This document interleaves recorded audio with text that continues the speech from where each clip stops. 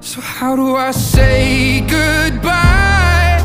Someone who's been with me for my whole damn life. You gave me my